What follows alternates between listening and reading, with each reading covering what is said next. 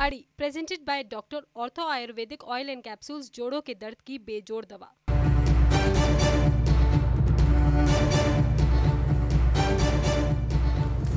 Corona की दूसरी लहर में देश ने क्या क्या देखा? किसी से छिपा नहीं है। अलग अलग राज्यों से आई दिल दहलाने वाली तस्वीरों ने ऐसा दर्द दिया जो शायद कई दशकों तक मन मस्तिष्क को परेशान करता रहेगा, लेकिन लगता है लगता है कि हम अपने अनुभवों से सबक लेने को तैयार नहीं हैं।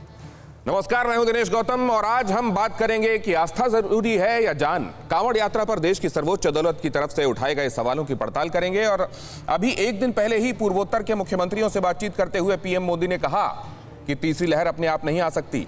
लेकिन आपकी और हमारी लापरवाही इसे ज़रूर लेकर आएगी। सुप्रीम कोर्ट ने यूपी सरकार की कांवड़ यात्रा मंजूरी पर नोटिस जारी करते हुए इस बात को और आगे बढ़ा दिया है। आपको हरिद्वार का महाकुंभ याद होगा, जिसके बाद कोरोना की दूसरी लहर ने कहर बरपाया था और इस बार उत्तराखंड ने तो कांवड़ यात्रा को रद्द कर दिया, लेकिन उत्तर प्रदेश कुछ अलग तैयारियों का दावा कर रहा है। क्या है ये पूरा माजरा? और क्या चाहता है हिंदुस्तान? आपको बताएँगे। नमस्कार, मैं दिनेश गौतम, लेकिन पहले ये बड़ी खबर। यूपी में कांवड़ यात्रा की इजाज़त पर सुप्रीम कोर्ट सख्त। सुप्रीम कोर्ट ने स्वतः संज्ञान लेकर यूपी सरकार को नोटिस भेजा। सुप्रीम कोर्ट में 16 जुलाई को मामले पर अगली सुनवाई। जस्टिस फालियस नरीमन की बेंच ने मामले में स्वतः संज्ञान लिया। मामले को सुओमोटो संज्ञान में लेते हुए कोर्ट ने केंद्र और उत्तर प्रदेश को नोटिस भेजकर यह पूछा है कि इस मामले में स्थिति स्पष्ट की जाए। उत्तराखंड यह यात्रा नहीं करने दे रहा, लेकिन उत्तर प्रदेश इसे करना चाह रहा है। क्यों? ऐसा क्यों है? ये टिप्पणी करते हुए सुप्रीम कोर्ट ने यह भी कहा है कि पीपल आर परप्लेक्स्ड। लोग असमंजस में हैं, लोग समझ नहीं पा रहे हैं कि स्थिति असल में है क्या। तीसरी लहर सामने है और हम करना क्या चाह रहे हैं? और सवाल यह है, आइए अब इस मामले को आगे बढ़ाते हैं। अपने मेहमानों से आपको परिचय की तरफ़ ले चलूँ। उससे पहले जरा यह जानकारी आपको दे दूँ। हमारे साथ जो खास मेहमान जुड़ेंगे, उनसे अलग अलग नज़रिए लेने की कोशिश करेंगे, क्योंकि आस्था निश्चित रूप से हमारे जीवन का एक अभिन्न अंग है। लेकिन जीवन है तो वो अंग है। आस्था ज़रूरी या जान, ये समझ लेना पहले बहुत आवश्यक है। अगर जान रही तो फिर जहान भी है। इधर देखिए क्या हुआ है अभी तक। ये जो मामला जहाँ से आगे बढ़ रहा है, और आप जानते हैं, सावन के महीने में शिव भक्त अलग अलग जला, जलाशयों से, पवित्र जलाशयों से, नदियों से जल लेकर आते हैं शिवजी पर चढ़ाने के लिए। घुटना, कंधा या कमर, चाहे जैसा हो दर्द, डॉक्टर ऑर्थो आपको देता है, दर्द से पूरी आज़ादी। एक भरपूर ज़िंदगी ये कोई टेम्पररी पेन किलर नहीं, आयुर्वेदिक औषधि है। कांवड़ यात्रा इस दौरान पूरे चरम पर होती है। कांवड़िए निकलते हैं और पूरी आस्था के साथ जाकर जल लेकर भगवान पर चढ़ाने जाते हैं। लेकिन क्योंकि कोविड का समय चल रहा है, कांवड़ यात्रा पर उत्तराखंड सरकार ने बैन लगा दिया। उत्तर प्रदेश सरकार ने यात्रा की इजाज़त दी तो सुप्रीम कोर्ट ने इसे सुओ मोटो संज्ञान में लेते हुए कहा कि केंद्र और उत्तर प्रदेश दोनों ही बताएँ कि क्यों यह फैसला लिया जा रहा है? कोविड काल में क्यों ज़रूरी है कांवड़ यात्रा कराना? क्योंकि भीड़ की जुटान तो हो गई ही। भीड़ के जुटान दोनों ही जगहों पर होंगे, जलाशयों पर भी और वहाँ जहाँ भगवान शिव के मंदिर होंगे। क्या अब बाकी राज्य खुद सबक लेंगे? या असल में यहाँ तो कई बार आपको यह भी देखना पड़ता है कि पॉपुलर सेंटिमेंट क्या है? क्या पॉपुलर सेंटीमेंट के चलते कई जगहों पर ऐसी ऐसी रवायतों को चलने दिया जाएगा? भले ही लोगों की जान पर बनाए, ये एक बड़ा सवाल है। अब जरा देखिए, कांवड़ यात्रा पर सुप्रीम संज्ञान लिया गया है। सुप्रीम कोर्ट ने क्या कहा है? जल्दी से वो दिखा देता हूँ, चलता हूँ अपने मेहमानों के पास। कांवड़ यात्रा पर सुप्रीम कोर्ट का केंद्र और उत्तर प्रदेश प्रदेश सरकार को नोटिस गया है। सर्वोच्च अदालत ने स्वतः संज्ञान लेते हुए यह नोटिस जारी किया है। और इसमें सुप्रीम कोर्ट ने सरकारों से कांवड़ यात्रा की इजाज़त पर जवाब मांगा है। पूछा है कि किन स्थितियों में क्यों की जा रही है किन नियमों के तहत आप इसे करने दे रहे हैं, कैसे आप प्रोटोकॉल को फॉलो कराएँगे? कोर्ट ने कहा है कि उत्तराखंड सरकार ने यात्रा पर रोक लगाई है। तो फिर यूपी सरकार ने कांवड़ यात्रा को कैसे मंजूरी दिया है? 16 जुलाई को जस्टिस आर एस नरीमन की बेंच इस पर सुनवाई करने वाली है। अब अब जबकि यह होने वाला है, इस पर सुनवाई होने वाली है, केंद्र और उत्तर प्रदेश को इसको लेकर जवाब देना है। उस समय आप जरा देख लें कि दोनों ही राज्यों का इस मसले पर, मसला एक ही है, कांवड़ यात्रा। एक राज्य कह रहा है, नहीं होने देंगे, लोगों की जान ज़्यादा कीमती है, आस्था से ज़्यादा, लोगों को मरने नहीं दिया जा सकता। दूसरा राज्य अगर इसे इजाज़त दे रहा है तो क्या डिफरेंस है ओपिनियन में? जरा वो देख लीजिए। कोरोना नियमों के साथ यात्रा जारी रखी जाएगी, ये योगी आदित्यनाथ कह रहे हैं। तो उधर धामी साहब क्या कह रहे हैं? उत्तराखंड के नए सीएम वो कह रहे हैं, लोगों की जान को खतरे में नहीं डाला जा सकता। यहाँ कहा जा रहा है, कोविड नेगेटिव रिपोर्ट पर ही यात्रा की इजाज़त देने पर भी विचार हो रहा है। उधर तीसरी लहर रोकने के लिए यात्रा रद्द करना ही ज़रूरी है। मतलब वैक्सीनेशन की, आरटीपीसीआर की रिपोर्ट के बावजूद हम जारी नहीं रख सकते। भारतीय जनता पार्टी की ही सरकारें, दो राज्य, एक मसला अलग अलग नज़रिया। और इसीलिए शायद कहा गया है कि पीपल आर परप्लेक्स्ड मेरे साथ जो खास मेहमान जुड़ रहे हैं, पहले उनसे परिचय करा देता हूँ। डॉक्टर सौमित्र रावत, बहुत बड़ा नाम चिकित्सा के क्षेत्र के Padma awardee Sir Gangaram hospital से हमारे साथ जुड़ रहे हैं। सर, बहुत स्वागत है आपका। डॉक्टर रवि गोट से हमारे साथ जुड़ रहे हैं। अपने नज़रिए खास तौर से उनका अलग नज़रिया आपको निश्चित रूप से भाता है। आज एक बार फिर वो उस नज़रिए के साथ जुड़ेंगे। यूनाइटेड स्टेट्स ने क्या देखा है इस संदर्भ में? जो सबक हम ले सकते हैं उनसे हम समझेंगे। शलभ मणि त्रिपाठी पत्रकार रहे और अब राजनेता हैं। हमारे साथ प्रवक्ता की हैसियत से भारतीय जनता पार्टी के ज्वाइन कर रहे हैं। राजकुमार भाटी साहब भी ये भी एक संयोग है कि वो भी लेखन में पत्रकारीय कामों में दिलचस्पी रखते रहे और वो समाजवादी पार्टी की तरफ़ से हमारे साथ जुड़ रहे हैं। आप दोनों का बहुत स्वागत है। आ, स्वामी दीपांकर हमारे साथ कुछ देर में जुड़ेंगे जिनके साथ हम चर्चा करके समझेंगे कि धर्म इस मामले में क्या कहता है जब आस्था और जीवन दोनों में से दोनों की तरफ़ हमको देखना होता है तो हमारे लिए निर्देश क्या है? और डॉक्टर दीपांकर बोस, ये दो दीपांकर हमारे साथ होंगे आज शाम जहाँ नासमझी है, वहाँ के अंधेरों को दूर करने के लिए दो दीपांकर उजाले के साथ हमारे साथ doctor Dipankar Bose, United Kingdom से लाइव हमारे साथ, खासतौर से जहाँ डबल वैक्सीनेशन के बावजूद केसेस बढ़ रहे हैं। वहाँ से क्या सबक हम ले सकते हैं, उनसे हम जानेंगे, लेकिन सबसे पहले मैं जानना चाहता हूँ शलभ मणि त्रिपाठी साहब, मसला एक, नज़रिए दो, पीपल आर परप्लेक्स्ड। देखिए अलग अलग राज्य हैं अलग अलग चुनौतियाँ हैं अलग अलग व्यवस्थाएँ हैं और अलग अलग व्यवस्थाओं को लेते हुए अलग अलग राज्य अपने निर्णय लेता है।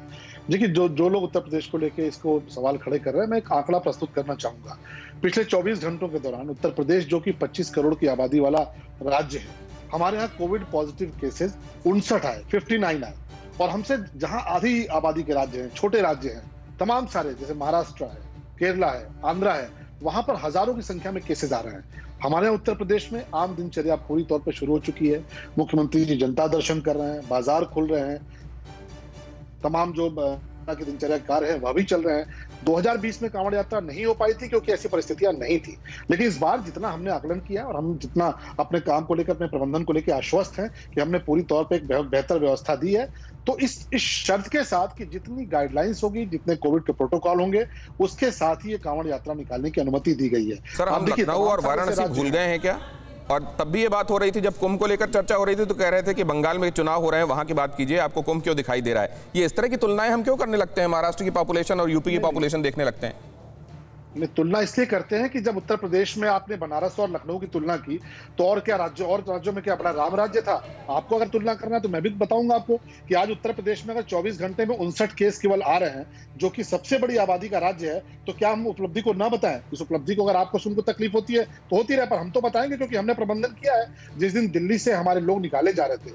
चालीस लाख लोग उत्तर प्रदेश और दिल्ली के बॉर्डर पर खड़े थे, उनको घर तक पहुँचाने का काम हमने किया। तो आज सबसे बड़ी आबादी, सबसे ज़्यादा माइग्रेंट्स सबसे ज़्यादा चुनौतियाँ उसके बावजूद हमने बेहतर प्रबंधन से उत्तर प्रदेश में कोविड को काबू किया है। और एक बात और जब तमाम राज्यों में लॉकडाउन था पूरी तौर पर लॉकडाउन था तब भी उत्तर प्रदेश में कोरोना तो आप ये कह रहे हैं कॉन्फिडेंट लॉकडाउन नहीं और प्रोटोकॉल के साथ हम चलने दे सकते हैं? एक भी लॉकडाउन नहीं हुआ। हमने आंशिक कोरोना कर्फ्यू लगाया। हमारे बाज़ार खुले रहे हमारी मंडियाँ खुली रही हमारे ऑफ़िस खुले रहे। उसके बावजूद हम आंकड़ा चौबीस घंटे में उनसठ नए केसेस पर लेके आए। बयालीस जिलों में कोई केस नहीं। शलम मणि त्रिपाठी कह रहे हैं कि हम तो तुलनात्मक रूप से बताएँगे। हमने अच्छा काम किया हम कॉन्फिडेंट हैं इसीलिए हम आगे बढ़ रहे हैं।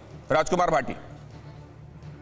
देखिए मैं सलमनी त्रिपाठी जी से बहुत विनम्रता के साथ ये निवेदन करना चाहूँगा कि जो बातें आप हमें और टीवी नाइन भारतवर्ष को और देश की जनता को समझाना चाह रहे हैं वो उत्तराखंड की सरकार को समझाएँ। और माननीय मोदी जी को इसमें हस्तक्षेप करना चाहिए। हम दोनों सरकार दोनों वहाँ की परिस्थितियाँ अलग है राजकुमार भाटी। हाँ हाँ ये तो सलम जी तो यही कह रहे थे लेकिन हमें तो कोई परिस्थिति अलग नहीं लगती नहीं। दोनों प्रदेशों के नागरिकों का जीवन अमूल्य है। दोनों प्रदेशों को कोरोना का खतरा है। कोरोना ने कहर पूरे देश में पर पाया, हर प्रदेश में पर पाया है। कोरोना अगर उत्तराखंड से फैलेगा तो वो भी उतना ही खतरनाक होगा। अगर उत्तर प्रदेश से फैलेगा तो उतना ही खतरनाक होगा। उत्तर प्रदेश में जो इलाज कोरोना का है, वो उत्तराखंड में भी है। मुझे नहीं लगता कि कोई भी स्थिति अलग है। दोनों की स्थिति समान है। कोई असमानता नहीं है, कोई भिन्नता नहीं है। कुतर्क के लिए हम कुछ भी कहते रहे हैं। शलम मणि कुतर्क कर रहे हैं आप। एक सेकंड, राजकुमार भाटी जवाब दे लू मैं इस पे। नहीं, देखिए, मैं उत्तराखंड के बारे में इतना बताना चाहूँगा कि वहाँ पर एक जगह से, हरिद्वार से गंगा जल लेकर और उसके बाद लोग कांवड़ यात्रा के लिए आगे बढ़ते हैं। उत्तर प्रदेश में कोई एक जगह नहीं है। गंगा जी बहुत से इलाकों से निकलती है। जैसे मैं उदाहरण के तौर पर बताऊँ तो काशी से 25-30 किलोमीटर की दूरी पर एक जगह है चौबेपुर। लोग वहाँ से भी जल लेते हैं और वहाँ से जल लेके पास के शिव मंदिर में जाते हैं। तो उत्तर प्रदेश में स्थानीय स्तर पर कांवड़ यात्रा निकलती है बहुत सी जगहों पे कि लोग पाँच किलोमीटर की दूरी पे जा रहे हैं, सात किलोमीटर की दूरी पे जा रहे हैं और क्योंकि कोविड पूरी तौर पर हमने बहुत हद तक इसको काबू में कर रखा है। बहुत सारे लोगों की धार्मिक मान्यताएँ हैं, बहुत सारे लोगों की एक परंपरा, परंपरागत मान्यताएँ हैं, बहुत सारे लोग संकल्प लेकर चलते हैं और हम तो कह रहे हैं कि देखिए कोविड प्रोटोकॉल का पालन करने को हमने कहा है। हमने कहा है गाइडलाइंस को पूरी तौर पर फॉलो किया जाएगा। जितनी भी हेल्थ से जुड़ी चीज़ें होती हैं सुरक्षा देने की व्यवस्था वह भी की जाएगी। और साथ ही साथ कहीं से भी इसको लेकर किसी तरह की दिक्कत प्रदेश में या किसी देश के हिस्से में ना पहले उसको लेकर हमने पूरा फुल प्रूफ इंतज़ाम किया है। और इसलिए हम इस बात को लेकर आश्वस्त हैं। हम दो राज्यों की तुलना नहीं कर रहे हैं। हम सिर्फ़ इतना कह रहे हैं कि हमारा प्रबंधन बेहतर है। हम उस प्रबंधन को लेकर कॉन्फिडेंट है वरना 2017 से पहले भी मैं भारतीय सुप्रीम कोर्ट ने इस पर संज्ञान लिया है आप लोगों से जवाब मांगा है आप इसको रिव्यू करेंगे या आप अपना मन बना चुके हैं?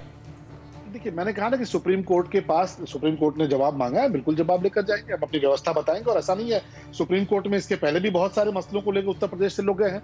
हमने जब यहाँ पोस्टर चिपकाए थे अपराधियों के आतंकवादियों के तब भी लोग सुप्रीम कोर्ट गए नहीं यहाँ तो स्वतः संज्ञान लिया है लोग नहीं गए सुअ मोटा लिया है। आप कह रहे हैं जवाब देंगे मतलब आप अपना फैसला नहीं बदलेंगे इससे संदर्भ में आप जो अपनी सोच है वो सुप्रीम कोर्ट को अवगत करा देंगे आप ये कह रहे हैं।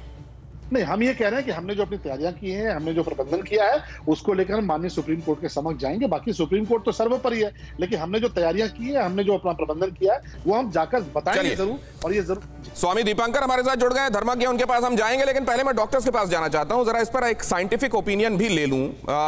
मसलन doctor Soumitra Rawat.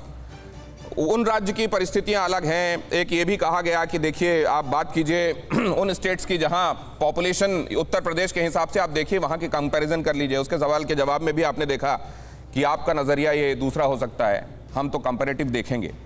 Sir, corona को समझ पाए हैं क्या हम इतना झेलने के बाद भी?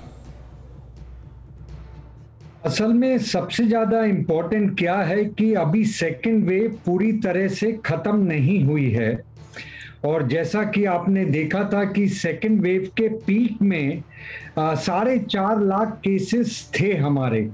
और धीरे धीरे आप देख रहे हैं केसेस कम हो रहे हैं। लेकिन केसेस जो हैं, एक बार चालीस हज़ार केसेस जब कंट्री में पहुँचे हैं, पिछले दो वीक से वो कम नहीं हो रहे हैं। दिनेश जी, आप देख रहे हैं, पिछले दो हफ़्ते से जो टोटल नंबर ऑफ़ केसेस हैं वो तीस चालीस हज़ार के करीबी हैं वो गिर के बीस हज़ार दस हज़ार नहीं आए हैं। घुटना कंधा या कमर चाहे जैसा हो दर्द डॉक्टर ऑर्थो आपको देता है दर्द से पूरी आज़ादी एक भरपूर ज़िंदगी। ये कोई टेम्परेरी पेन किलर नहीं आयुर्वेदिक औषधि है। इसका मतलब अभी सेकेंड वेव खत्म नहीं हुई है। और इसमें हमें बहुत बहुत ज़्यादा केयरफुल रहना होगा और हमारे प्रधानमंत्री श्री मोदी जी ने भी कल बोला था और जब उन्होंने वीडियोस देखे थे हम्म। कि मसूरी में क्या हुआ है शिमला हम्म। में क्या हुआ है पूरे हिमाचल प्रदेश में क्या हुआ है हम्म। उन्होंने पूरा एम्फेसाइज किया है कि कोविड अप्रोप्रिएट बिहेवियर ठीक है हमें रखना ही है उसमें कोई दो राय नहीं है। हम्म। और जो थर्ड वेव का है थर्ड वेव आएगी वेदर थर्ड वेव फ्लैट होती है या सेकेंड वेव से ज़्यादा होती है खराब वो हमारे ऊपर डिपेंड हमारे ऊपर डिपेंड करेगा। डॉक्टर साहब मैं तो आपसे ये समझना चाह रहा था कि प्रोटोकॉल्स को फॉलो करके जहाँ पर बहुत ज़्यादा भीड़ जुटने का अनुमान है। मसलन अगर कांवड़िया जाएँगे बहुत बड़ी भीड़ जुटेगी। वहाँ भी जहाँ से जल लेना है वहाँ भी जहाँ जल चढ़ाना है। अब जैसे देवघर में ही ले लीजिए जहाँ ज़्यादातर लोग जाएँगे वो कितना गर, बड़ा गर्भगृह है और वहाँ कैसे मारामारी होती है भगवान को जल चढ़ाने के लिए ये भी हम जानते हैं। क्या इन जगहों पर स्थितियाँ सुनिश्चित की जा सकेंगी? वैसी जो कोविड को रोकने वाली हो ये मैं आपसे समझूँगा लेकिन डॉक्टर रवि गोड से यूएसए भी तो कंफ्यूज रहा कई बार। मास्क पहन लो मास्क उतार दो वैक्सीन लग गई है, अब कुछ नहीं होगा, नहीं नहीं, अब तीसरी डोज लगानी पड़ेगी। ये सब देशों में चल रहा है प्रोसेस है। तो तीसरी लहर तो हमारे यहाँ नहीं आएगी, भारत में भी नहीं आएगी। कावड़ यात्रा ने, ये कोविड ने मेरी, मैंने नानी याद करा दी। मैं जब दूसरी कक्षा में था तो मेरी नानी कावड़ यात्रा पे गई थी और वहाँ से हरिद्वार से गंगा जल लेके आई थी, हमारे देहात में, शिव मंदिर में चढ़ाने को। मैं बम्बई में उनके साथ था। छोटे देहात में जा रहे थे तो मैं कहा, कहाँ ये पानी उठाएँगे? इतना कूली दो रुपया मांग रहा था। इसलिए मैं पूरा गंगा जल वो छोटे से देहात के पौधों को डाल दिया। लेकिन नानी गुस्सा नहीं हुई। उसने कहा, क्या भगवान की लीला है? मेरे हाथों से इन छोटो देहात के पेड़ों के पेड़ों के लिए गंगा जल मंगवाया। तो ये जो भी आप कोई कौम या कोई संप्रदाय से जो आपसे, आप इत्तेफाक रखते हो जो मालिक है उसको सब खबर है। जनरली मैं लोगों के साथ बात करता हूँ। आज मैं सरकार या कोर्ट का समर्थन करूँगा। अभी ये समय नहीं है ये साल क्योंकि हमारे जो वैक्सीन है वो सीरियस डिसीज के अगेंस्ट बहुत अच्छे चलते हैं लेकिन मामूली डिसीज हो सकता है। 35 परसेंट चांस है डेल्टा की वजह से। तो अभी भी वैक्सीनेटेड लोगों में भी कोविड हो सकता है। इसलिए मैं सरकार का समर्थन करता हूँ कि अभी भगवान की बहुत बड़ी बात कही आपने। अभी नज़रिए का फ़र्क है। देखो तो हर जगह ईश्वर है और उन पेड़ों को भी जल दे दिया गया, लेकिन ये ये ये हर किसी को बता पाना संभव है क्या? जहाँ पॉपुलर सेंटिमेंट पर वोट्स मिलते हों डेमोक्रेसी चलती हो, वहाँ पर यह समझा पाना आसान है क्या? स्वामी दीपांकर, आप तो धर्मज्ञ हैं, मैं समझना चाहता हूँ कि क्या कहते हैं शास्त्र? संकट के समय में जब कोई बड़ा संकट आसन्न हो और आस्था भी सामने हो, क्या करना चाहिए? मैं दिनेश शुरू करूँगा। एक वेद का ही श्लोक है कि शरीर माध्यम खालू धर्म साधनम। शरीर ही माध्यम है साधना का। तो इसको निसंदेह बचाकर रखना है और दूसरी लहर के कहर से भारत अवगत है। भारत ने बहुत कैजुअलिटीज और बहुत सारे हादसे देख लिए। मगर मैं उसके साथ ये भी कहूँगा कि जब आध्यात्म और साइंस की आप बात करते हैं तो मेरा इस बात को लेकर हमेशा विरोध रहा है। कि आप धर्म को और आध्यात्म को साइंस से अलग मत देखा कीजिए क्योंकि सनातन पूर्णता साइंटिफिक ही है दिनेश बाबू। और जहाँ तक बात आध्यात्म की है निसंदेह विज्ञान और आध्यात्म में मात्र इतना सा अंतर है कि धर्म मानकर चलता है और आध्यात्म चल और विज्ञान चलकर मानता है। तो मैं निसंदेह वर्तमान परिस्थितियों को देखते हुए समूचे हिंदुस्तान का भारतवर्ष का सनातनी हर एक उससे अवगत है खतरे से और हर चीज़ को बहुत बारीकी से देख रहा है। मगर जिस प्रकार से सरकार ने इस इस पर विचार किया है। एक बात आप समझ लीजिए दिनेश बाबू मैं बड़े परिपेक्ष में कह रहा हूँ और समूचे सनातन से कह रहा हूँ कि सनातन कोई जड़ नहीं है चेतन है। आज की परिस्थितियों को देखते हुए विचार किया जा रहा है कल की परिस्थितियों को देखकर हो सकता है जैसा सुप्रीम कोर्ट कहेगा वैसा पालन किया जाए। नहीं तो दीपांकर जी यहाँ पर लोग नहीं है कि जो आपने कह दिया हम लोग वही करेंगे। नहीं नहीं वो ठीक है मैं समझ गया। लेकिन फ़िलहाल फ़िलहाल आप किस बात को समझ रहे हैं? कोर्ट ने जब ये बात कही है और आप जड़ और चेतन का हवाला दे रहे हैं तो इसको इजाज़त देना जड़ता का परिचायक है या चेतनता का? चेतनता कैसे जड़ता कैसे कह सकते हैं?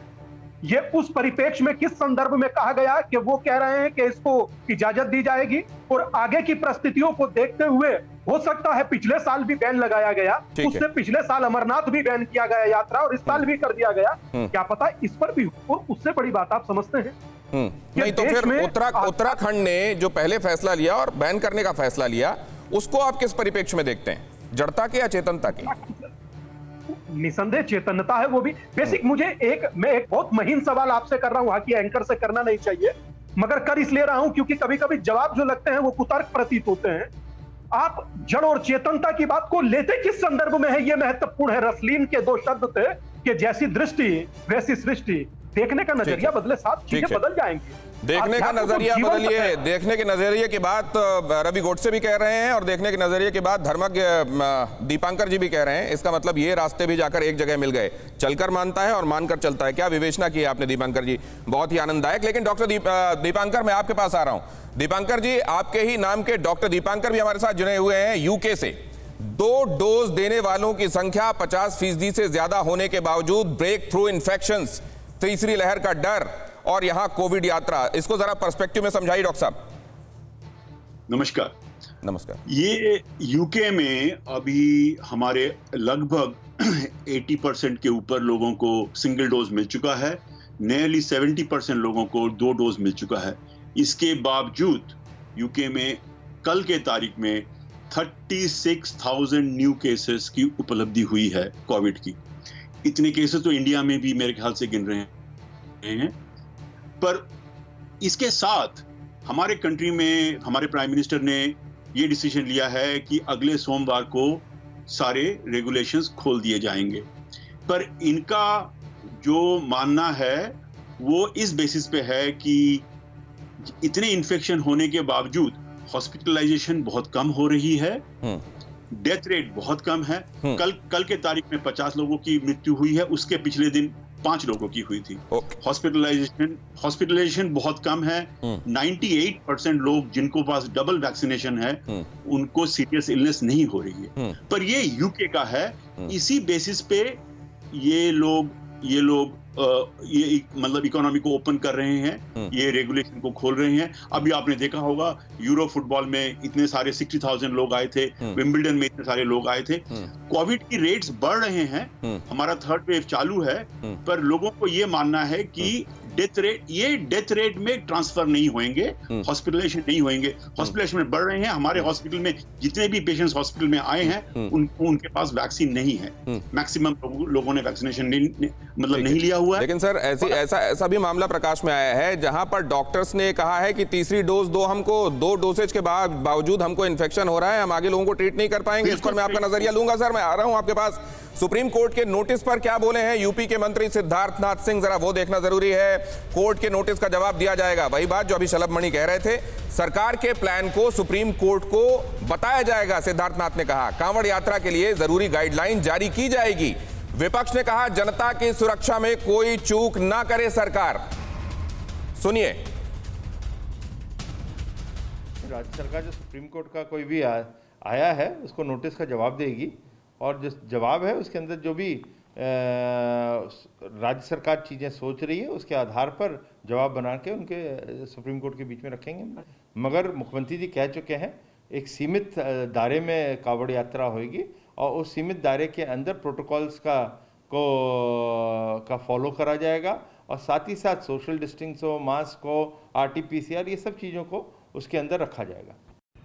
राज्य के नागरिक की सुरक्षा और स्वास्थ्य की ज़िम्मेदारी सरकार की होती है। राज्य सरकार अनिवार्य करे कि किसी भी नागरिक के स्वास्थ्य में और सुरक्षा में किसी तरह की भी चूक ना हो पाए। ये दोनों चीज़ें आपने देख ली। विपक्ष पहले से ये कह रहा है कि जनता की जान से खिलवाड़ नहीं होना चाहिए। सरकार कह रही है, हमने पूरी तैयारी की है, प्रोटोकॉल का ध्यान रखा जाएगा और सुप्रीम कोर्ट को भी बता देंगे। इस पर मैं आऊँगा, लेकिन आइए एक और बात बता दूँ आपको। कोरोना से दूरी या कांवड़ यात्रा ज़रूरी? असल में आप देखिए, यहाँ पर आप जब वेस्टर्न कंट्रीज़ के बारे में देखते हैं कि डबल डोसेज के बावजूद वैक्सीनेशन के वहाँ ब्रेक थ्रू इन्फेक्शन हो रहे हैं, ये बात दीगर है कि डबल डोसेज के बाद वहाँ 35 परसेंट का आंकड़ा जैसा डॉक्टर गोडसे कह रहे हैं कि 35 परसेंट लोग बीमार होते हैं और मोर्टेलिटी बहुत कम है। लेकिन हिंदुस्तान जैसे पॉपुलस कंट्री में, अगर आप परसेंटेज वाइज देखेंगे तो शायद आपको वैसा दिखाई दे, लेकिन अगर आप नंबर पर से देखेंगे तो यह भी बड़ा दिखाई देगा यह बात ध्यान में रखना चाहिए। और उत्तर प्रदेश जैसी पॉपुलर स्टेट के संदर्भ में तो खासतौर से, लेकिन उससे पहले सावन के महीने में कांवड़ यात्रा। घुटना, कंधा या कमर, चाहे जैसा हो दर्द, डॉक्टर अर्थो आपको देता है, दर्द से पूरी आज़ादी, एक भरपूर ज़िंदगी। ये कोई टेम्पररी पेन किलर नहीं, आयुर्वेदिक औषधि है। इसके संदर्भ में आप सब जानते हैं, लेकिन फिर भी अगर जिनके लिए ये जानकारी है, मैं उनके लिए दोहरा दूँ। सावन के महीने में ये रवायत है, हिंदुओं की आस्था का तकाजा है। कई राज्यों से कांवड़ियों का ग्रुप देवघर, हरिद्वार, काशी पहुँचता है। यहाँ भगवान को जल चढ़ाया जाता है। उत्तर प्रदेश, मध्य प्रदेश, राजस्थान, बिहार, ओडिशा से कांवड़िए जल लेने के लिए पहुँचते हैं। और ये जगह भी है, हरिद्वार, काशी, सुल्तानगंज यहाँ से भी जल भरा जाता है। जिन स्थानों से गंगा जल लाया जाता है, वहाँ लाखों की भीड़ होती है। अब वहाँ भी भीड़ जुटेगी और गंगा जल लेने के बाद कांवड़ियों का समूह अपने स्थानीय मंदिर पहुँचता है। वहाँ जाने के बाद शिव मंदिर में जल चढ़ाया जाता है। कई लोग ज्योतिर्लिंगों का रुख करते हैं, कई लोग अपने शहर के मंदिरों का रुख करते हैं और वहाँ पर भी आप ये देखते हैं कि अमूमन सावन के सोमवारों में वैसे ही भीड़ होती है और जो जो लोग जल चढ़ाने के लिए यहाँ से पहुँचते हैं, वो लोग तो खास तौर से क्योंकि वो इतनी दूर से जल लेकर पहुँचे हुए होते हैं, उनके अंदर और भी ये भाव होता है कि हम जल्दी से जल्दी जल चढ़ा लें। और इस आ, मामले में क्योंकि सब लोग एक साथ वही सोच रहे होते हैं कई बार भीड़ का जुटान होता है। दोनों स्थानों पर कोरोना फैलने की आशंका भरपूर रहती है। और शिव भक्त, आप जानते हैं स्थानीय जलाशयों से भी जल लेकर शिव मंदिर में चढ़ाते हैं। स्थानीय जलाशयों में भी भीड़ हो सकती है, लेकिन इन जगहों पर ज़्यादा होती है। कई बार कांवड़ यात्रा में उपद्रवी तत्व भी घुस आते हैं लॉ एंड ऑर्डर सिचुएशन बनती है। वो तो खैर हर साल का मामला है और उससे निपट लेती है सरकार, लेकिन चिंता इस बार कोविड के चलते ज़्यादा है। कांवड़ यात्रा के दौरान अनुशासनहीनता देखने को मिलती है। उसी अनुशासनहीनता प्रोटोकॉल आपने कर दिया, लोगों को समझा भी दिया, लोगों से अपील कर ली आरटीपीसीआर भी देख लिया, लेकिन इतनी सारी भीड़ को कंट्रोल करते हुए ये सब क्या सुनिश्चित किया जा सकता है ये एक सवाल है। और यूपी उत्तराखंड से कोरोना अपडेट क्या है वो भी जरा इस समय देख लेना चाहिए। कोरोना पूरी तरह गया नहीं है। 24 घंटे में उनसठ केस उत्तर प्रदेश में रजिस्टर्ड हैं। मतलब ये वो जो अस्पताल पहुंचकर जिन्होंने बताया कि उनको कोविड हो गया है और उत्तराखंड से 44 नए मरीज़ सामने आ चुके हैं। 24 घंटे में चार की मौत हो चुकी है उत्तर प्रदेश में और उत्तराखंड में 24 घंटे में 10 की मौत हो चुकी है। अब तक 22,704 मौतें हो चुकी हैं। उत्तर प्रदेश में और उत्तराखंड में सात हज़ार तीन सौ इक्यावन मौतें रजिस्टर की जा चुकी हैं। एक्टिव केस एक हज़ार चार सौ उन्यासी हैं उत्तर प्रदेश में और उत्तराखंड में 819 अब ये एक्टिव केसेस 24 घंटे के अंदर सामने आए मरीज़ और मौतों का आंकड़ा। ये बता रहा है कि कोविड एक तो पूरी तरह गया नहीं है और तीसरी एक बड़ी लहर की का, का अंदेशा सामने है। हरिद्वार कुंभ से कई गुना ज़्यादा फैल गया था कोरोना और यह कहा जा रहा है कि फाइव टाइम्स बिगर इवेंट हो सकता है कांवड़ यात्रा सुपर स्प्रेडर होने के हिसाब से। कुंभ से अगर कोरोना फैला था, वहाँ से जाने वाले लोगों ने कोरोना फैलाया था तो पाँच गुना ज़्यादा यह बढ़ सकता है कांवड़ की वजह से। जरा देखिए उत्तराखंड में कोरोना केसेस का क्या हुआ था? एक से तेरह फरवरी, पाँच केस, एक, चौदह से अट्ठाईस फरवरी, एक सौ बहत्तर केस एक से पंद्रह मार्च, आठ केस और सोलह से इकतीस मार्च 2480 केस के बाद देखिए एक से 15 अप्रैल 15,333 केस। और ये जब मैं बता रहा हूँ आपको हरिद्वार कुंभ की वजह से उत्तराखंड के संदर्भ में ये केसेस आपको बता रहा हूँ। अब अगर इन बातों को पर्सपेक्टिव में रखते हैं शलभ मणि त्रिपाठी खैर आपके सामने तो जोखिम भी है और आप आप बहुत कैलकुलेटेड तरीके से आप सरकार चला रहे हैं तो सारी स्थितियों को देखकर ही कर रहे होंगे। लेकिन यह पृष्ठभूमि आपको फिर भी सशंकित करती है क्या? आप लोग तमाम ख्याल रख रहे होंगे बेशक। नहीं, देखिए निश्चित तौर पे जिस वक्त में कोरोना पीक पर था, उसमें बहुत सारे जो चीज़ें थी, उन पे हमको, हमने भी उनको प्रतिबंधित किया था।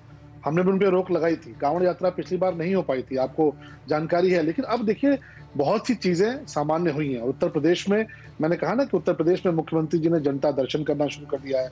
जनता पहुँच रही है, रोज़मर्रा की ज़िंदगी चलनी शुरू हो गई है। और उत्तर प्रदेश में लॉकडाउन तो कभी नहीं था। हमने आंशिक कोरोना कर्फ्यू लगाया। हमसे जो छोटे राज्य थे, वो लॉकडाउन पे थे। इसके बावजूद वहाँ केसेस आए। लेकिन हमने आंशिक कोरोना कर्फ्यू लगाकर लोगों से अपील की, लोगों को प्रेरित किया, लोगों को जागरूक किया। उसका परिणाम ये रहा कि उत्तर प्रदेश की जनता का सहयोग मिला।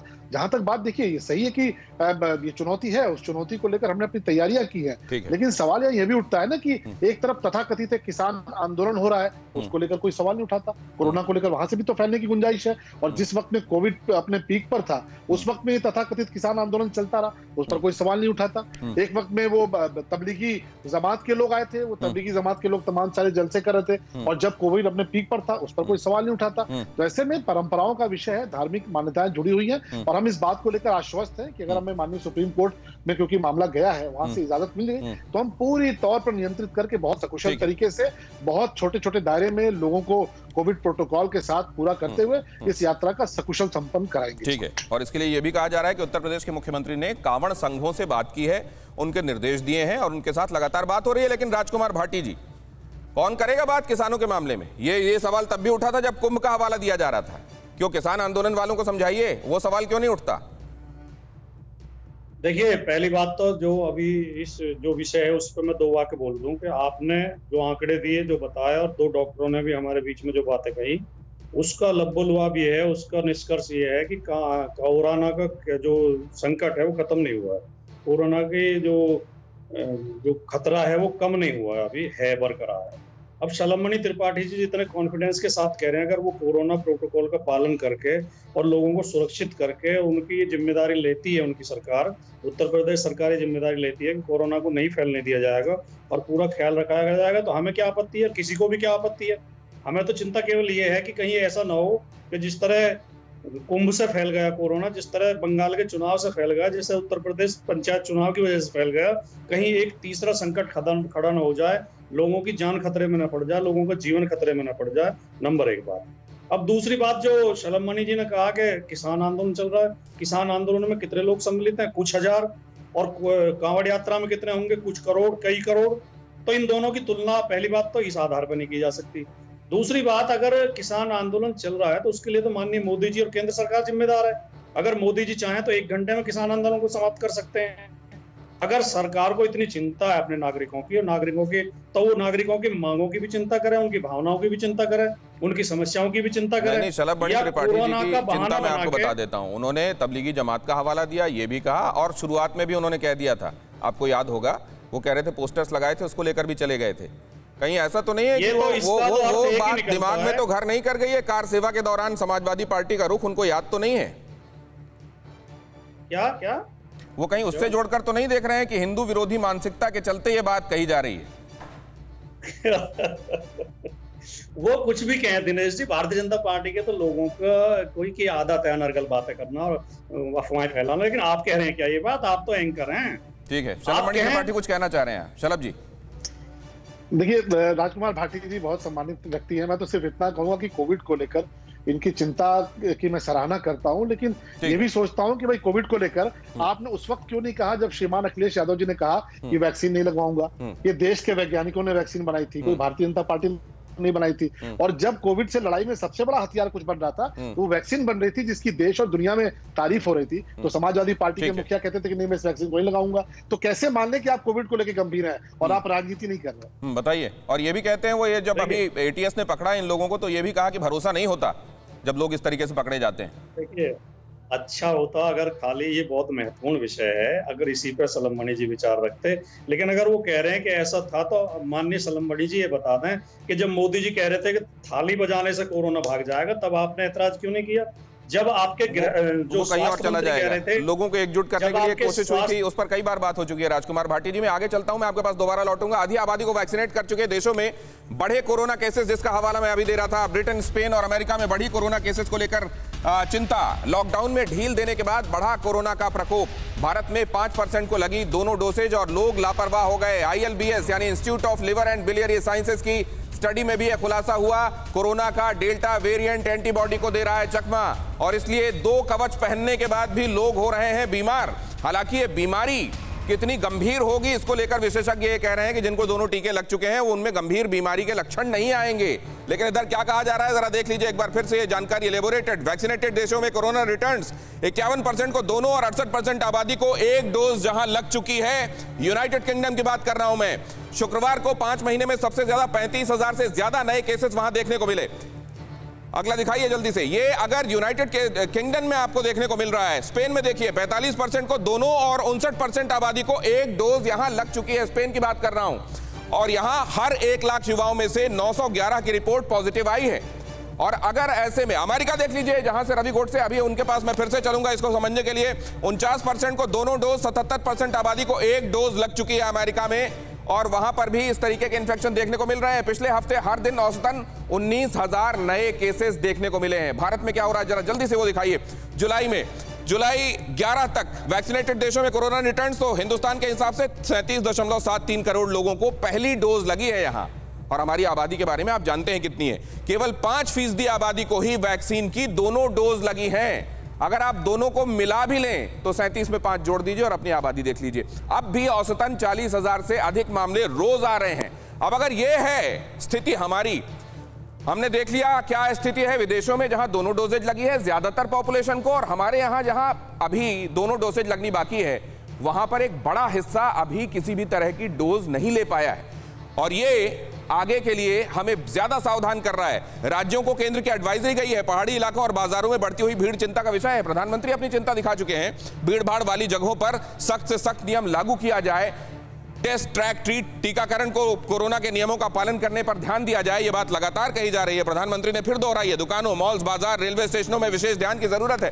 अब अगर ऐसा है तो क्या ये रवि गोड से आपको ये चिंता आप जब कहते हैं कि तीसरी लहर नहीं आएगी आप देख रहे हैं कितने परसेंट पॉपुलेशन को ये डोज लगी है?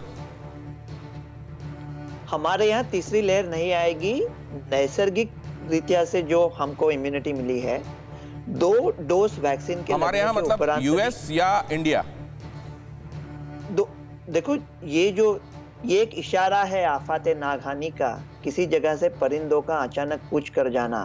हमारे यहाँ परिंदे जा नहीं रहे आ रहे हैं।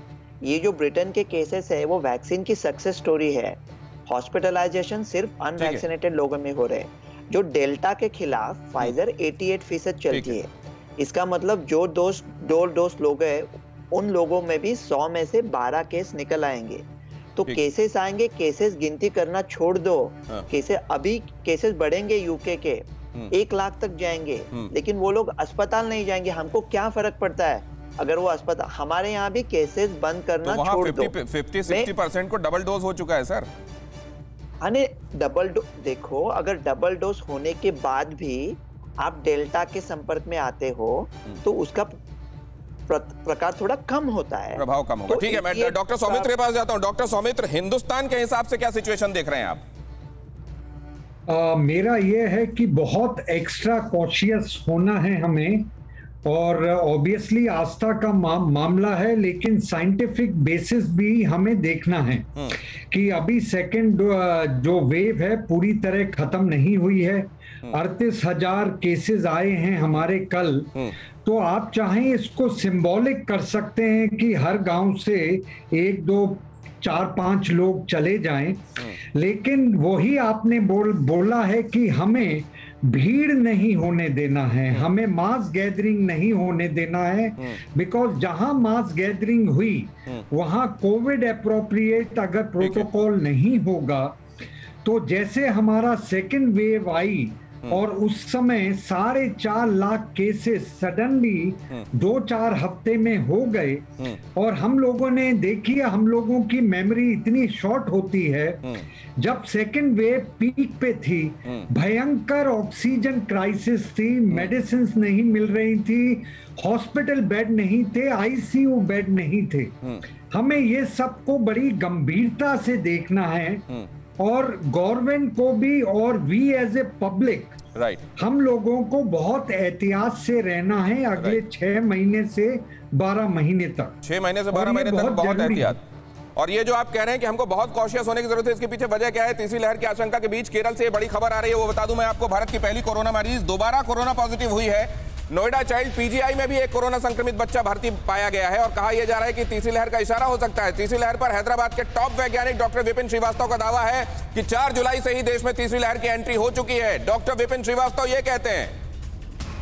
कई बार हम ये तर्क सुनते हैं और कुछ लोग तो बड़ा सीना तान करके बोलते हैं, अरे भाई, तीसरी लहर आने से पहले हम एंजॉय करना चाहते हैं। ये बात लोगों को समझाना ज़रूरी है कि तीसरी लहर अपने आप नहीं आएगी। कभी कभी लोग सवाल पूछते हैं, तीसरी लहर की क्या तैयारी की है? तीसरी लहर के लिए आप क्या करेंगे? आज सवाल ये होना चाहिए हमारे मन में कि तीसरी लहर को आने से कैसे रोकना है? हमारे प्रोटोकॉल को चुस्ती से कैसे अमल करना है? डॉक्टर अभिगोट से जल्दी से अपनी बात पूरी कीजिए। देखो, अभी मैं, मुझे हैरानी तो ये है कि जैसा गवर्नमेंट चल रहा है, रस्ते में केले का छिलका देखते हैं और कहते हैं, साला, आज फिर गिरना पड़ेगा। ये अगले साल कैंसिल हुआ, क्या 2022 में भी कैंसिल करोगे? मैं जल्दी से जल्दी अगर भीड़ हो रही है ना वहाँ पे वैन में बैठ के वैक्सीनेशन वैक्सीनेशन वही तो चिंता है ना सर कि वैक्सीनेशन ही तो हमारे यहाँ आप देखिए ना कुल आबादी ऐसी जिसको दोनों डोसेज मिली हो पाँच परसेंट भी नहीं पहुँच रही लेकिन डॉक्टर दीपांकर के पास मैं जाना चाहता हूँ। डॉक्टर दीपांकर हमने ये देखा था कि जब ये वेव्स आई यूके जैसी कंट्री को यूएस जैसी कंट्री को हमने क्रम्बल होते देखा इंफ्रास्ट्रक्चर हेल्थ इंफ्रास्ट्रक्चर के हिसाब से। क्या हम ये दावा कर सकते हैं कि अब हम तैयार हैं हेल्थ इंफ्रास्ट्रक्चर की तरह से? पूरी तैयारी है, अब हम सब कुछ रेगुलेट कर लेंगे। अब अब हम इस तरह के आयोजनों को इजाज़त दे सकते हैं? देखिए, एक चीज़ मैं कहना चाहता हूँ कि कोरोना कभी जाएगी नहीं इस दुनिया से। हर इंसान एंटायर पॉपुलेशन वर्ल्ड का उनको कोरोना टच करेगी either as a disease as मतलब बीमारी की तरफ़ से या तो वैक्सीनेशन लेके उसकी, उनकी इम्यूनिटी की तरफ़ से। तो हम कभी अगर एज्यूम करें कि ये एक साल, दो साल के बाद कोरोना भाग जाएगी, हम इनको जीत देंगे, इसको भूल जाइए। कोरोना कभी नहीं जाएगी, ये नजला जुकाम की तरह रह जाएगी बॉडी के अंदर। अगर ये इम्यूनिटी लोगों को हो जाती है, एक बार बीमारी के बाद दोबारा फिर से हो सकती है, पर बीमारी की इंटेंसिटी कम होएगी आफ्टर इम्यूनिटी तो अगर हम चाहते हैं कि हम सारे लोग घर के अंदर बैठ के ही बंद रहें सारी ज़िंदगी भर वो भी एक वो भी एक सोल्यूशन है। पर यह भी नहीं चाहिए कि आज छुट्टी मिली है जैसे हमारे 19 तारीख को हमारे यहाँ पे खुलेगी सारे नाइट क्लब्स पैक्ट पैक्ट होके अगर सब लोग वहाँ पे नाचना शुरू कर देंगे तो फिर ये मतलब मतलब उश्रृंखलता फैल जाएगा। डर यही है डर यही है कि अगर आत्मानुशासन हो सरकार को कहना ना पड़े। सरकार को यहाँ इस तक के लिए तो कहना पड़ता है कि सीट बेल्ट लगा लो। वहाँ पे खड़ा हुआ पुलिस वाला बताता है हेलमेट लगा लो आपकी जान के लिए उनको बताना पड़ता है और उसमें भी हम लोग पुलिस वाले को देख के सीट बेल्ट लगाते हैं। पुलिस वाले को देख के मास्क लगाते हैं। ऐसी स्थितियों में क्या ये आ, हमारे लिए अभी उचित है और ये किया जाना ठीक है? ये एक बड़ा सवाल है। बहुत धन्यवाद करूँगा हमारे सभी मेहमानों का। बातचीत दीप दीपंकर जी आपसे सीमित हो पाई। आ, गला भी फंस रहा है आपको धन्यवाद करता हूँ सभी मेहमानों को। हमने की गलती फिर एक बार। कोरोना ने किया दोबारा प्रहार। मास्क, दो गज दूरी। करें अपनी सुरक्षा पूरी। कोरोना टीका हम सबको लगाना है। मिलकर साथ समझदारी से कोरोना को हराना है।